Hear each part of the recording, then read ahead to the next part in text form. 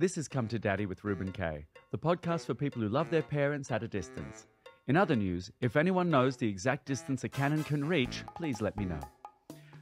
I'm not saying I've got daddy issues, but I only found out yesterday in yoga that child's pose isn't a thumb in your mouth and asking for help to use the big boy toilet. I'm here at the Melbourne International Comedy Festival with all the most wonderful people in the world who I love dearly, which is why my producer Amanda is not here. She's in London and it's awful.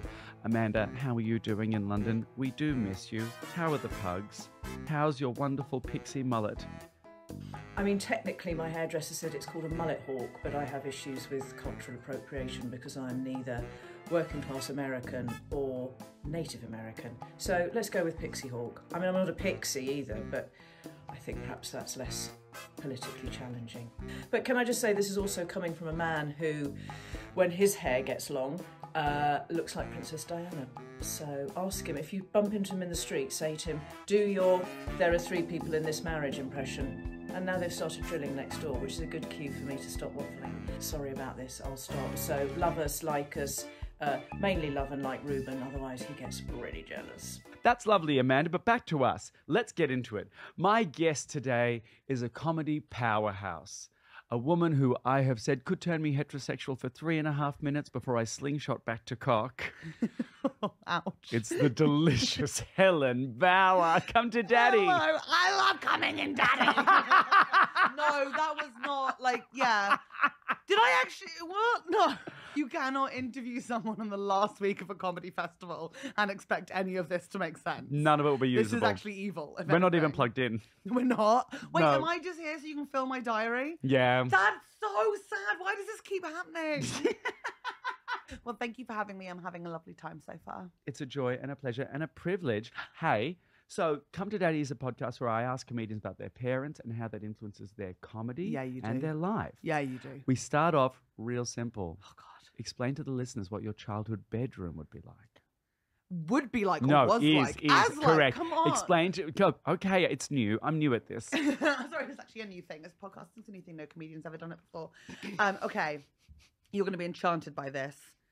I was like obsessed with having like the latest room all the time, but never got it. So I would accessorize it myself. Great. The main era, yellow and orange, bright yellow, Oh, bright orange. They don't go together. Disney cutouts from a calendar Terrifying. all over the wall covered in Blu Tack. Yeah, it's feeling like this should be the only thing that's missing is red thread. like tying it. I will have Jasmine's eyes, and I will have Ariel's hair, and I will have. It was it was manic and then like there was a cool shop in a town quite close to where i grew up and they sold those like spirals and and wind chimes and things with little mirrors on mm. them and it was like run by like an older white woman who was like super holistic for the area and oh my god i just i lent in way too hard it was just overstuffed with things and i had a sink in my room just a sink I can I say this? My mind was opened when I finally found sinks in bedrooms in the UK. I must have a sink in my bedroom. just a sink nothing else Yeah, just a tap. You can give yourself a little spritz on the face. You can get a little glass of cold water, and Mhm. worst comes to worst, you can pee. i weed in it all the time Fun. all the time because I was a tall kid. Yeah. So I could like get one leg over and like enough minge to get it in. Like my parents must have known that. That the- Floorboards underneath it were like Dripping. disintegrating. But It was like you're alien blood, just like eating away at it. I also think that the next title of your show, Helen Bauer, just enough minge. just enough min- just enough minge over it. Because like for like for okay, if you've got a vagina to piss in a sink, Mm. like you you it's you do have to think for an extra second. I think in many ways there should be a female urinal, but you have to design it so that it comes out around and forward, like the Mhm. bow of a ship, but like even like so you, the, it, it sort of cradles under the sea. Yeah, yeah, yeah, yeah, yeah. The sea, the sea, where a C string would go, like a G string, but, But a C I've string. used a urine like successfully before. Yeah, but you, and I'm going to say this with so much love, Uh huh. you're you're unique. Thank you so much. Mm, My pleasure. That did not feel like it was with love. But the tr- just in case anyone's listening who does want to use uh, urinal, what you do is you press yourself flat against the wall and don't push. Let it come out as a stream. Great. Because then it just goes straight down. Ah, and if you push it, um, I think if you pushed and you sort of like you might it might go out and then like splash back. Like you know when you vomit but you've got your hand up because you think it's a cough. familiar. Like and then it flicks back in your face when you're dr- like so Mhm. not like you want to just like let it trickle down. Kleenex, two dabs on the clear, off you pop. Like Perfect. it works for me. It works for everybody's different. you know? Everyone's different. Everybody's Everyone's everyone's body is a wonderland, and everyone's voice is valid. Thank you. Now I'm thinking I didn't have any toilet roll in my bedroom growing up. What was I wiping myself with? So what, were the- what were you dabbing? What were your two dabs? Yeah, what was I with? wiping? What were you Was I wiping with? What were you wiping with? We know what you were wiping. What were you wiping with? Oh, it would have been like yesterday's knickers, maybe, or something. Hot. It must Or- have been. Or one really sad, sad, terrified Barbie sitting by the sink. This is when we find out my mum's like, you just don't, don't, not with the Barbie. I'm not being that minging. I refuse to I'm that the minging. wiping Barbie. I'm trying to rebrand myself. I don't want to be like, you know, you know Helen, Helen Bauer, the comedian, the minger. Like, I don't want that for me anymore. I don't know what I, I want to rebrand as like a like you know Helen, super kind, super gentle, super fun. Hey, what are the names of your parents? Anne and Michael. Anne and Michael. Yeah. Is that your middle name named after mum? Yeah, Named after mum. named after mum, named Would after that- mother. Would they have named you Michael if you had been a boy? No, it was going to be Lyle. Oh my Lyle god. Now I can't think of you. Oh, don't. I know. Lyle Bauer, like, what the fuck? No, but or, serial or killer. Lawrence. And I'm really hoping it would have gone Florence. Then I could have been a Laurie. Yeah. And Laurie's cute. Laurie, Laurie Bauer. Laurie, come on. Laurie Bauer's cute. Lyle Bauer has an unmarked van with candy in it. Mm. Lyle Bauer. Lyle I think Bauer. it's because there's a Lyle, like, on my mum's side, a bit back. That's not a but, um, reason to call someone Lyle. If I was, they, like, I think I settled on Helen 'cause my dad could spell it. But my mum originally wanted, like, Madeline or, like, Juliet or something. But my dad's just not, like, he's not academic. Couldn't get his head around it. So they were like, Helen will do. What were their What were their jobs? My dad works in sewage. Great. At a shit, shit farm. Mm. And my mum is a jack of all trades. she's she's she's she's gone through a lot of obscure jobs. Right. Currently, Mm. she is Thinking oh, she she's in her best era actually. She is a speech and language festival adjudicator. Do you have that thing here? Like it's like so like competitions that children can do as extracurricular activities, Like mainly children. Like enunciation and poem So poetry recitals, choral verse speaking. They can, but you can do duologues. You can act out. There can be improv rounds. What's a choral Jew? Choral speaking is sort of like it's like a choir for a poem, and it's like read out in like and. You're looking. It sounds really weird, but I grew up doing choral speaking Gay. I Gay. grew up doing choral speaking. My mum was a big gay ally. As some of you do. the as some of you best sex like, she ever had was a gay man. She told me that. we have to get into that. But hang on. So there's a choral soundscape. They're doing like, is it just them speaking the words? Or are they all doing like the sounds and the birds and the things? And you can do the, sounds and the birds as well. You can also like you like some people can like whisper things or like be like you know the background and then you sort of like bring a poem to life. Or you can do it with a passage of prose as That well. sounds lovely. and it's like a, it's That a does thing, sound really nice. Thing, it's a thing. As long as they don't use any religious texts, I think it sounds lovely. The minute they do religious texts, it becomes weird. No, it does get weird. So she adjudicates those in like different places around the world now. Actually, Oh, amazing. she just did it in um like Hong Kong. Wow. Insanely cool. that is very cool. Like she's just like arrived in her seventies and she's like, I'm going to Hong Kong to judge children reading poetry. Bye, bitches. Peace Fuck out. yourselves. Will Anne and Michael listen to this? Do they consume your Oh, work? My mother does. Um, they're divorced now. hmm Um, With my, partners or? my dad's got a girlfriend. My mother is oh god, just men, Helen, men. Mm. Um, she she knows what she wants and she will not settle for second best. No. And we kind of love to see it. Love that. we kind of love to see her anne so she is she's living her best life um will they listen my mum might hi mummy if you're listening she listens to things she she knows what podcasts are like Right. my dad mm, Not a clue. like How old is clue. Michael? michael's 73 How old's the girlfriend? I think she's 68, but I Mm. think she said she was like 58 to the Okay. point where I'm like, come on, Michael, this Uh, is better that she's 68. At which point does lying about your age just like not matter anymore? Like you're 68 and you go, no, no, I am a spry little girl of 58.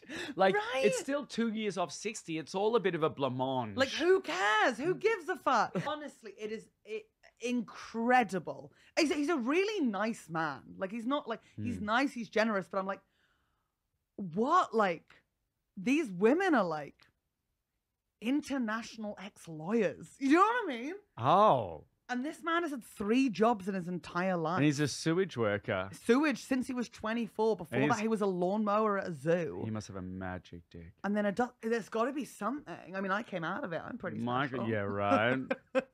right? Just, just God's super soaker. Do we have that? Do you have them in the UK? Super Soakers, soakers? 100%. You do. I had a Super Soaker 3000. Oh, uh, yeah. Well, my brother had two, and one of them was technically mine. What do you think their parenting style was like with you?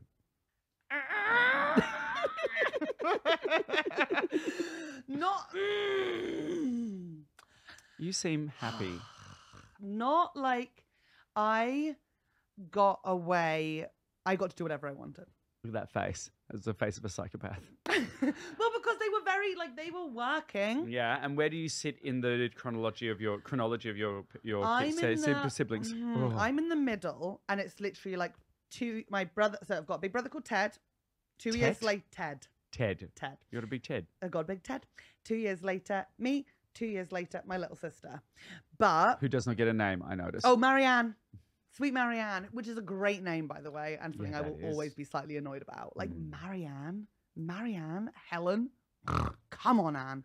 Um, I know Michael had nothing to do with the naming, so they basically my brother had some like health stuff when he was younger my sister is like super she's got lots of learning difficulties and was like a selective mute when i was younger so like uh, they they they, they Was she a selective mute or did you just not shut up? why does everyone say that because that's not like it's not someone doesn't become like a selective mute because their siblings are bawdy and chatty Bawdy. bawdy. I was a Yeah. bawdy child. But like they just uh, through the nature of my siblings having, I think particularly my younger sister needing a lot of parenting, particularly mm-hmm. during like the 90s. I know things are like a lot better now. People with like learning difficulties, not perfect, but like there was nothing set up in our area for it, right? So my mum had to go to battle to like mm-hmm. get everything sorted like trained as a sen- like special educational needs teacher in a school like really like had to go for it my dad was away at different sewage plants helping people sort out poo on the plant i'm not joking like he so like but then because i um for like want of a better term didn't have those additional needs Hmm. I just went to the local schools where my Yeah. siblings went to different schools. We went to a special needs school. My brother went to another school for like separate reasons. So I would walk myself to school and I would come home and people would come back later and my school would finish early. You so I given a lot was of independence. I just was just I just tooted along. I had amazing friends that lived on my road. I was very much like and uh, my mum is and I call it so weird because I've got a bit about it in my show. She's I was raised by liberal hippies. My mum was always like, You're not going to be defined by a letter on a piece of paper. You can study hard for these exams, but I know you'll fall on your feet. You do what you do you, babe. You do you. So I like love that. Thank I- you, Anne. uh, like honestly, my friends can remember it sometimes, like her coming in when they'd be over, being like, "Oh God, you're not all studying, trying to get into university, are you?" It's Just like she studied dance at Lancaster, like she's like that era. She um, so yeah, I just did whatever I fucking wanted, and like.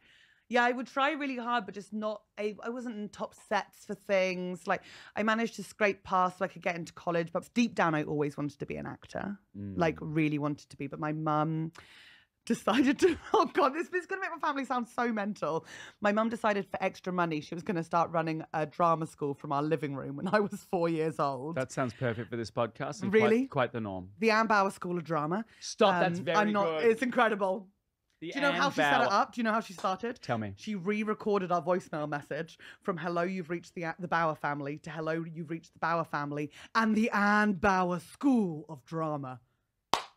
Slay, Anne. So good. That's My mother. And that's why that's why she's a boss. Anne Bauer School of Drama. It was run from our living room. Uh, my entire time there, from the age of four to 18, I was in it. My brother and sister were chucked out eventually, or they left. Oh right. Yeah. Not good enough. Was that also the only time your mum spent time with you? Maybe. that and a couple of very tense, very tense shopping trips we would go on. I did not, I was not an Oh. easy teenager either. no, I, I can understand that. I I'm was- the same. I was not an easy teenager. I was a dream at school. I was so lovely to my friends. I was so lovely And at my friend's parents' Did the house. teachers love you?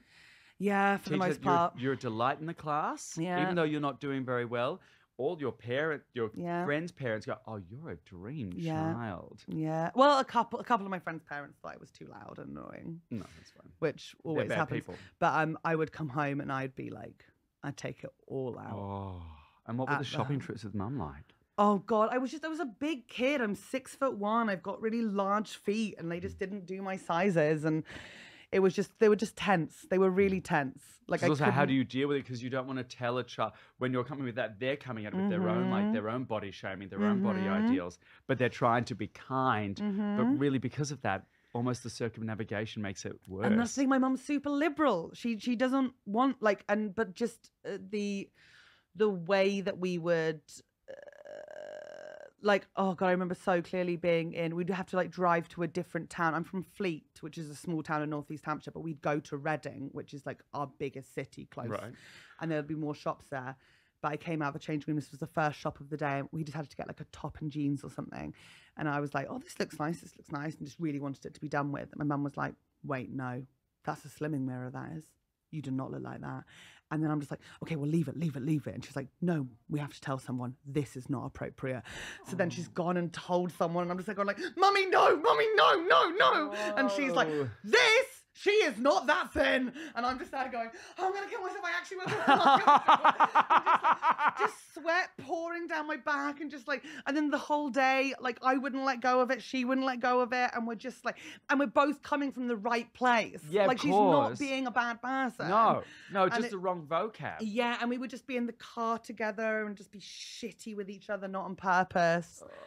yeah it was a fucking nightmare but i think because we did have such little time together and i really like yeah i was very much doing my own thing at school like i didn't even have her at parents evenings Yeah, yeah, yeah. yeah yeah yeah i super like just did it myself Did your dad? Was your dad also kind of as involved with you as a parent as your mum? Mm, my dad's really lovely. He's also he is autistic as well.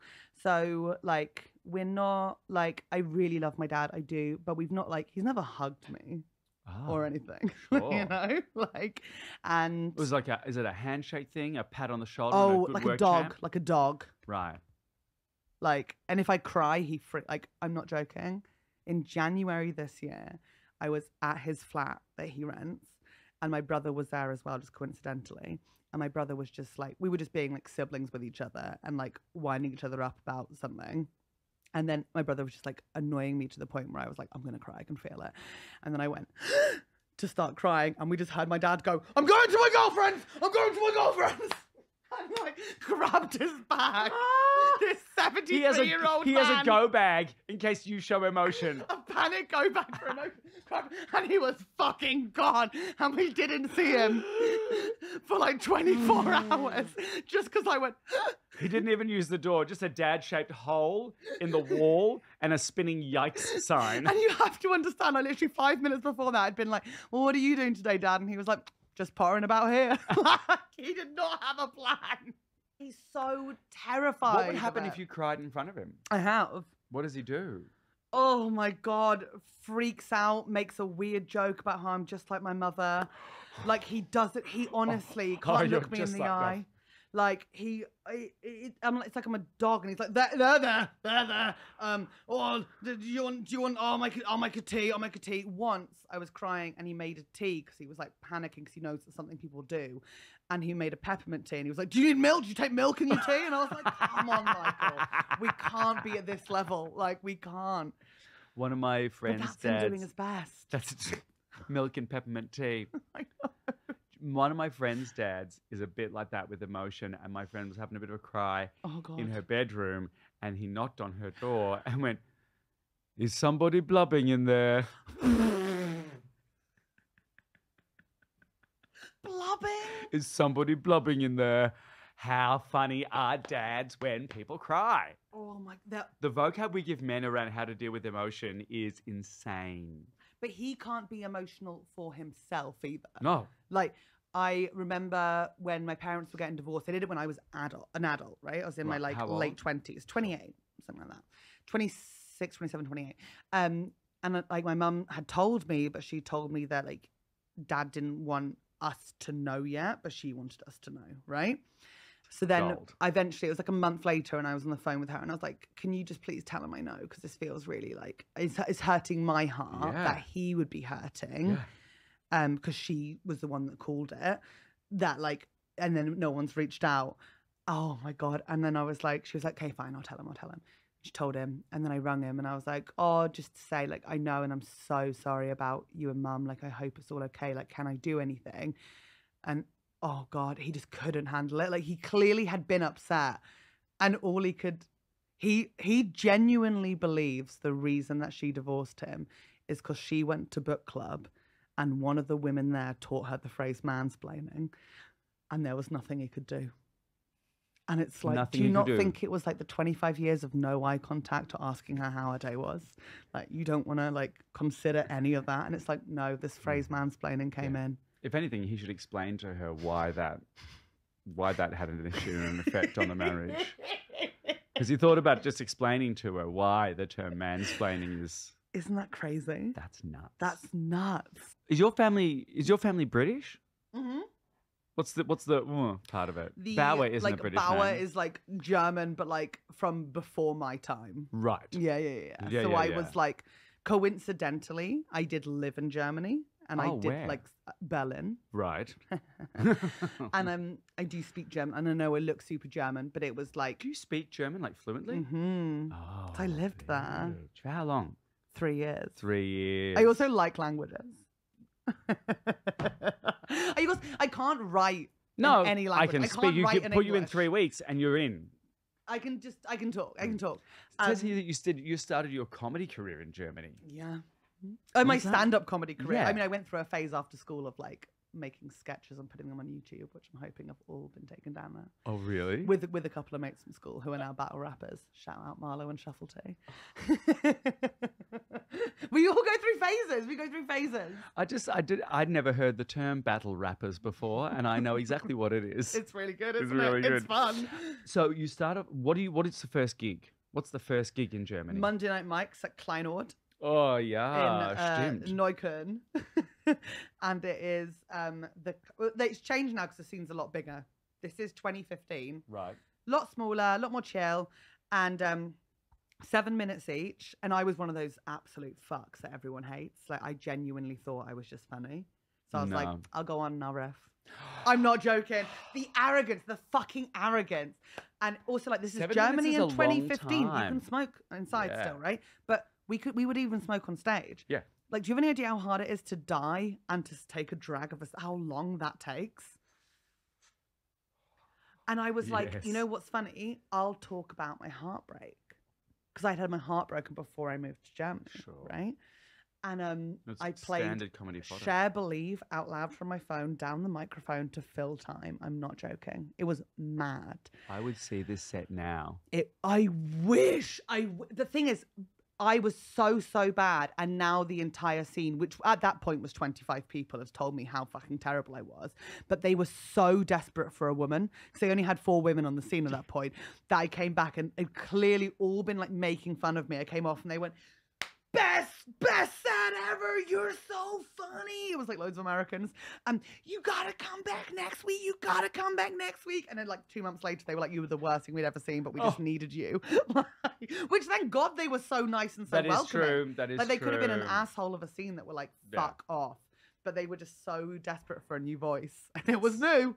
It was Careful, new. careful what you wish for. But I gigged there like the whole time for like a Mm. year and a half, and then I still go back and do shows there. Amazing. I love it. How do your parents feel? uh, Your parents feature in your stand-up. I've yeah, seen my it. mum, my mum is the one that gets the hit. How does she feel about it? She's given me a carte blanche, in her words, Has she? which is mad, isn't it? That to give is your kid a carte blanche that early on. But this is the thing. We have such a difficult relationship, but she's so like, do whatever you do you. She's like, I'm not gonna censor your story. That's interesting. Isn't it amazing? Because I'm I'm saying some stuff about mum in this that none of it is untrue and none of it is unflattering. But there's a joke in the show, which is my mum was born to have gay kids. I'm gay, my brother's gay. Medically speaking, her clitoris is a disco ball. Right. Thank you very much. Um, but like, I can't imagine in any other profession, any other profession, that a parent would be like, "Oh, my son's an accountant, and part of his job is telling everyone at work that my clitoris is a disco ball for professional advancement." Oh And I go, and she's like, "It's, it's a good joke." It's a good joke. I wrote um I wrote a joke the other last year, and I had to I sent it to mum to be like, "Mum, I'm really sorry. This is the joke. What do you think about it?" You send them written down. I said, I said, I'm just getting clearance on this because this one I'm not sure of. And it was, I call my parents' marriage Schrodinger's marriage because neither of them knew if they were alive or dead until they were out of it, which is fucking rough. My mum would love that joke. And my mum literally wrote back, great joke, works on all levels. Use it. See, we get the mums we need. Also, your mum started a drama school. I know. She understands what the artist goes through. She does. She also like is into the art. Does she have notes? So Does she give you notes? That's a yes. she's only seen me like four times because I don't What? Want, n- only because I don't want her there. But you're so prolific. Has your dad seen your show? once. Not a show. He came to me recording live at the Apollo and he brought two sausage rolls in case he got hungry. I'm not joking. He also said no to coming the first three times I asked him because him and his then girlfriend had a holiday booked for Devon. But my mum came to live at the Apollo. She's seen me do a the second show at the Soho Theatre. Mm. The first show, I don't think I. I think no, she never saw it. I sent her a voice recording before I did it in Edinburgh though. Oh Because wow! that I did talk about the Anne Bauer School of Drama. I think I just like Is it still running the Amber? No, it's not. clients? She phased that out. She phased that out. She was like, but I'm not going to deny a generation my expertise. So she just stopped taking on younger and younger classes until they were aged out. I'm not gonna deny a It was you've got, it was a big thing in our town, the Bauer School of Drama. Like it was to the point where I'm in Melbourne right now, and an alumni came to the show who just has happened to live here for a year. incredible, incredible work. Bauer power, baby. And Bauer Power. Um, but yeah, they don't. I don't know. I don't really want them there massively, but they watch things on TV. Yeah. and I think my mum, if I wanted her to come, she would be there. I just think it's a bit uncomfortable Mm. um, What's the relationship with them like now? between the two of them. Mm. Fine, they Yeah. they talk all the time. I think I think like it's just the the need of having a sibling with special needs, like parents do have to communicate differently, Mm. you know, and also they're friendly. Like nothing truly nasty happened, you know. Yeah. yeah, yeah, yeah. yeah. Yeah, yeah, yeah. Hey, thank you for coming on to come today. We've got a couple of last gauntlets, hurdles in this steeplechase. Holy shit! Here we go. It's called the pick and mix. Oh my god. It's where you get to dive a hand, a finger, a wrist, an extremity into a little jumble of memories Oh my and pick out two little memories to tantalize us, to tease us, to sum up your entire experience as a child. Pick and mix, pick and mix. It's time for us to do pick and mix. Family hellholes, please. Your first pick is Family Hellholes. Family hellholes. Got any recollections of family vacations? Shoot. Um, we would go on the most epic family holidays, like huge family holidays, but my dad would it wouldn't be organized with the children in mind. Does that make sense? Like we Yeah. wouldn't go to theme parks or to the beach. Mm. It was very much what Michael thought would be interesting, and my mother was very keen on like art galleries and like like liberal parents. Anytime in a holiday someone says the words interesting, I'm like, fuck off. This is abuse. Take me to a Oh. water park, not an art gallery. We, I wish it was just art galleries. The art galleries was like one level of it. Well, my dad would just like race through and just sit and have a coffee at the end as quickly as he could by himself. We went to, we went to death camps.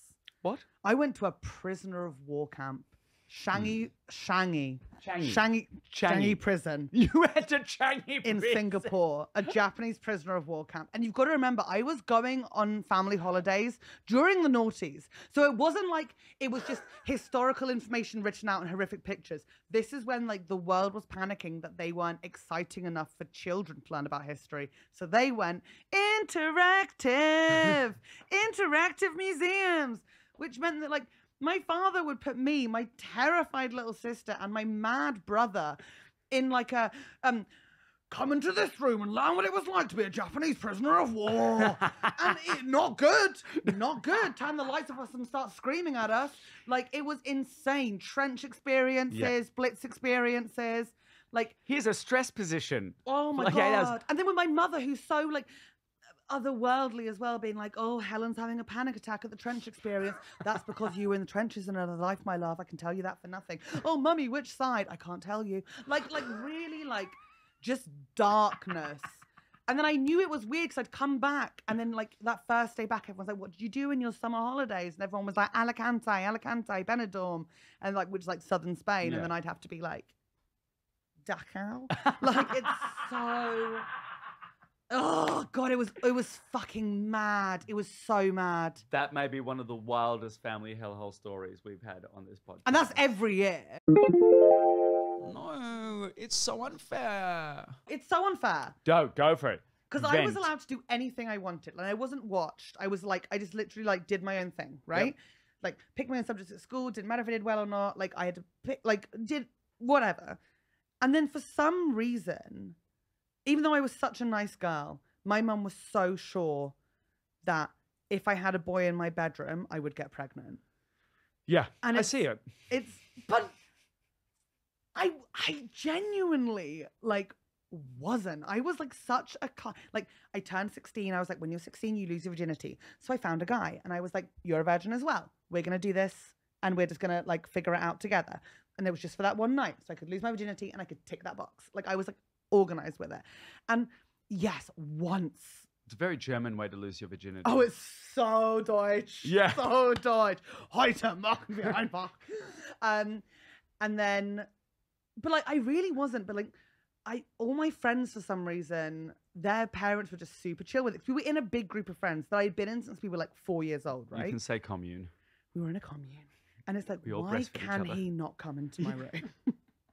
What am I going to do? And it made me feel like, I don't know. It was like, there was like one rule put on me and I fucking hated it so much. I hated it so much. Oh.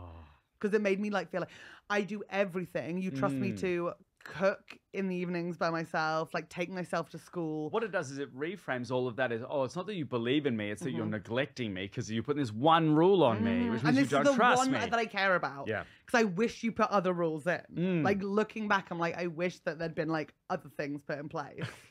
and I'm like, and this is the one. This I, I genuinely think it's because Chris was once caught in my underwear outside my house. But he was gay. We, my mum told me he was gay because I was in love with him in year eight.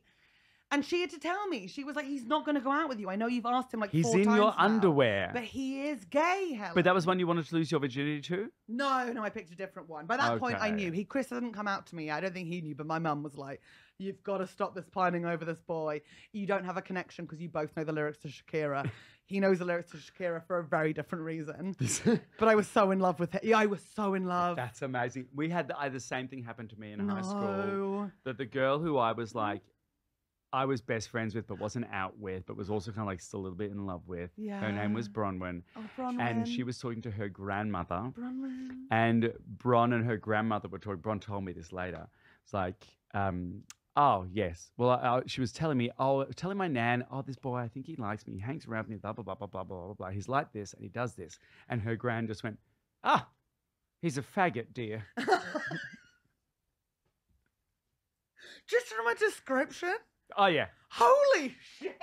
yeah. I had bleach blonde hair, tweezed eyebrows, and a tongue piercing at like. and did Bronwyn have 17. any idea? Well, after that point, she yeah, did. yeah, that would that would yeah. My mum had to tell me about six times though. I was like, no, you don't understand. We've got a connection. he went to prom with me. yeah, of course, Yeah, he as had to. protection. Yeah, I'm the protection. You're like a bodyguard. Here comes Big Helen with a big broad back. Chris just holding on behind I'll take me. a bullet for you, cunt. No, you're the bodyguard. It's a lovely retelling of the Whitney Houston movie, and you're Kevin Costner. but then it's like, if we know he's gay, why can't he be in my room? right. Like, let Chris in. What's he gonna do? Sing me a lovely song? And and you bottled it. Mm. Hey, we have one last thing, Okay. one do it. last little task for you, and this is called "Shall I Be Mother." Shall I be mother? This is where you, you look into my eyes and imagine I am Michael or Anne or an odd non binary Frankenstein of the two? Non-binary Frankenstein of the two, please. Correct choice. And you speak from your heart, looking into my eyes. What would you say to them now? This is really tricky because you know I was making fun of my dad earlier for not being able to be like emotional, vulnerable. I actually also have that. It turns out. Um, I want to say I'm sorry for being a shit in my teenage years, but I'm not.